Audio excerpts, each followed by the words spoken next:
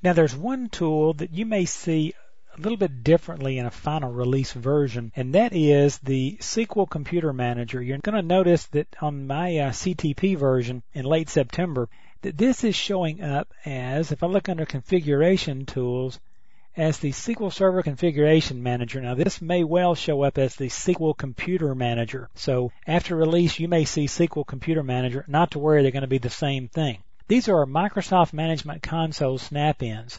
And you'll notice it says SQL Server Configuration Manager. You will say SQL Computer Manager. But notice what these give you. First of all, you'll notice at the top SQL Server 2005 services, and you see the various services that are running on the SQL servers. Notice you have to pay attention here though. This is for my default instance, MS SQL Server, and then this one is for Mark for my named instance, Mark and Mark. So notice that's my server service. You can tell that it is currently running.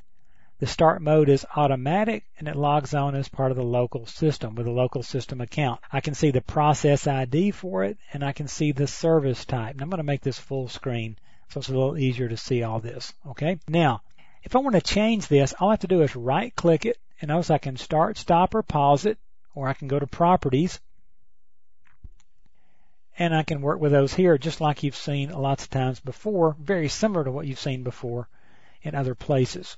Okay, so that's how I can set whether it's stop, start running, so forth. Now, this gives me a chance to work with services. Now, network configuration, notice I can expand this and I can see protocols for each of the servers that I have recognized here. So for SQL Server, you'll notice Shared memory is enabled, named pipes is disabled, TCP/IP is enabled. If I want to enable named pipes, simply right click, choose enable it.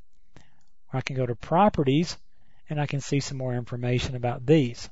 Then my native client configuration, client protocols, again, I can see that the way the protocols are being used, the order that they're being connected in, and if I don't like that, I can right click, go to properties, and I can change the protocol order if I would like and I'm going to leave this off and I can do there are some things I can do with aliases and I can set new aliases and I want to get into that right now. But that is what you're going to see as a SQL Computer Manager most likely. But this is another little tool that lets you take care of client configurations. This wasn't exactly hidden in previous versions of SQL Server, but it was amazing how many people didn't readily know how to get there to do this kind of stuff.